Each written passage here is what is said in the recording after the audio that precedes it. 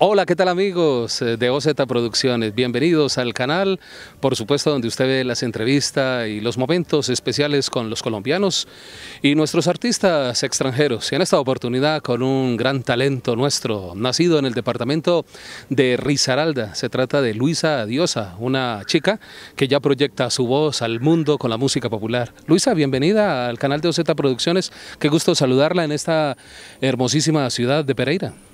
Muchísimas gracias, Otoniel. Gracias por esta gran invitación al canal. Y bueno, la verdad, eh, si estamos en la ciudad de Pereira, Luisa Diosa con ustedes. Qué bueno. Bueno, Luisa, eh, Luisa eh, ¿nacida aquí en Pereira o cerca, aquí en el departamento de, de Risaralda, cerca a la querendona trasnochadora y morena? Bueno, eh, nací en un municipio que se llama Quinchía, una vereda llamada Buenavista. Eh, bueno, queda un poquito lejos de aquí de la ciudad de Pereira, la verdad. Bueno, de chica le gusta el canto, siempre se ha esmerado por mm, interpretar la música popular o de otro género, de repente la, la, música balada, aunque ya casi no se escucha, ¿sabe?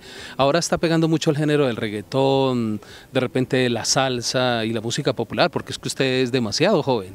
Sí, no, la verdad, eh, eso es algo también que impacta mucho. A mí la verdad me gusta mucho la música clásica, me gustan mucho las baladitas, Julio Jaramillo, Rocío Durcal, las eh, Mari Ramia, eh, Elena Sandoval, eh, bueno, sí, típicas eh, de la música clásica, esa que nunca se olvida, así que eh, a veces es, es, algo como muy, muy, hasta, hasta gracioso que muchas veces me dicen, vos tan joven y cantando pues música que a veces, uh -huh. o sea, que ahora ya no sé no es como muy, muy comercial, que digamos. Qué bueno. ¿Y ha tomado mm, la base de ellos para algo en la interpretación, la parte vocal? Quisiera de pronto tomar algo de cada una de ellas para más adelante ir superando más eh, su voz, su talento artístico.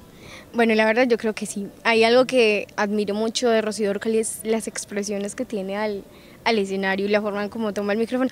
Yo creo que de cada artista, de estos artistas clásicos y estos que siempre han sido, se han quedado eh, conmemorados en la historia, eh, nos deja algo muy, muy, muy importante. Y yo creo que de cada artista hay algo mucho, mucho, mucho por aprender.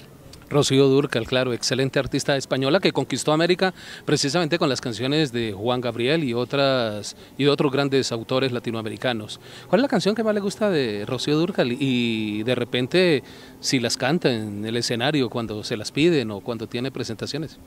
Bueno, ella hay muchas, unas muy muy buenas. Ya te olvides una muy clásica que hasta ya han sacado muchos covers. Eh, ya te olvidé costumbres. Eh, la típica esta Amor Eterno, que es una que siempre piden en, en, en las presentaciones, así que yo creo que hay, hay bastantes hay que, que conmemoran bastante. Como tu mujer, que es una que siempre, siempre piden. Como tu mujer, la canción de Marco Antonio Solís, definitivamente un gran éxito musical de los ochentas y que todavía sigue sonando. Muy bien, el capítulo de Rocío Durcal es un capítulo especial para más adelante de pronto hacer un gran especial con su música y, este talento que esta mujer tenía desbordante por, por todo el mundo.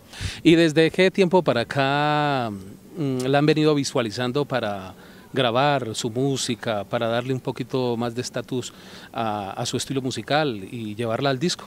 Bueno, eh, la verdad es que pues desde muy niña, típico para unos 11 años, yo venía diciendo, no, es, me gusta, me gusta, me gusta, pero sin embargo no había formalizado una relación muy estable con la música. Uh -huh. Así que hace eh, un año más o menos me puse, o sea, así por ahí, un año yo dije, no, esto es lo que me gusta, así que voy a, voy a empezar a, a, a identificarme con la música como tal.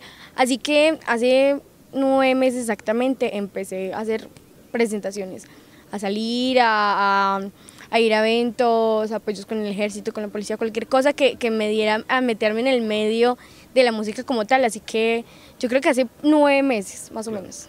No, excelente.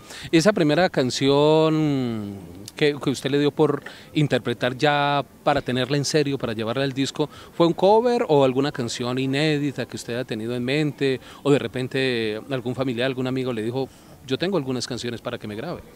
La verdad es que tengo un amigo en, en la emisora, entonces la verdad... ¿Qué emisora? Hay que darle el crédito a quienes apoyan el talento. sí, es de la emisora Qué Buena, Qué buena. se llama Dieguito.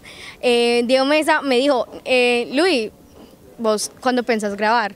Y yo no, pues en eso estoy, pero la verdad que yo para escribir, pues escribo poemas más, no canciones, eso no me dio ese don.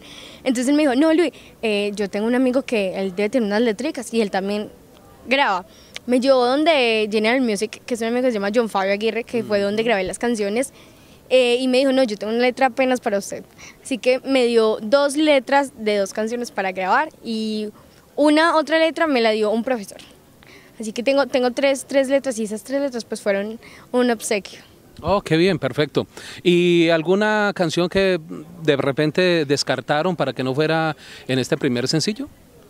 Mm, pues había una, pero igualmente no, no, no la descartamos como tal. Está ahí en el Está tintero, en remojo, de repente se graba en cualquier momento. ¿Esas tres canciones cuáles son, Luisa?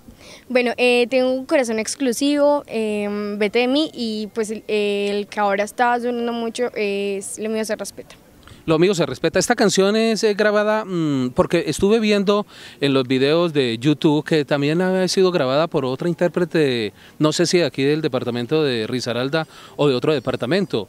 Bueno, eh, había una, una artista Sí. de eh, la ciudad de Tolima, me parece, que, eh, pues bueno, ella tenía la idea pues de grabar una canción y el, eh, el muchacho pues que me hizo a mí la grabación me dijo, eh, yo le di esa canción a, a otra persona, pero sin embargo los derechos se los, se los quité por inconvenientes personales.